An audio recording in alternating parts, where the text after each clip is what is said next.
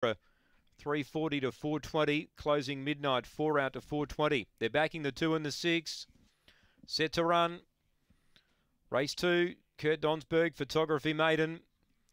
Yeah, ready to run. They've backed the two and the uh, the six here. Set racing. Speed from on the inside here. Oshkosh Petra carving out Little Bitty's going to clear it. Lord Zeus ran to second. So into the back they go. Little Bitty by three. Lord Zeus second. Third placing there. Two away Feeling. Running on closing midnight. The Rail Spring Rodney. Well back Oshkosh Petra. And Springvale Diva last, but Little Bitty left them standing.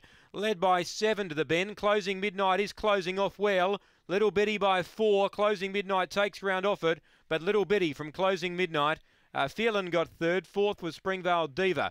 Uh, back behind them, Spring Rodney, then Oshkosh Petra, and Lord Zeus, who was up there early, tired to run last. Number four, Little Bitty. The late mail salutes again for Damien Bates. Number four, yeah, another late mail selection home here. Number four, Little Bitty leads all the way. Box four led, crossed them, and got right away. She had a really good turn of foot mid race. Uh, did get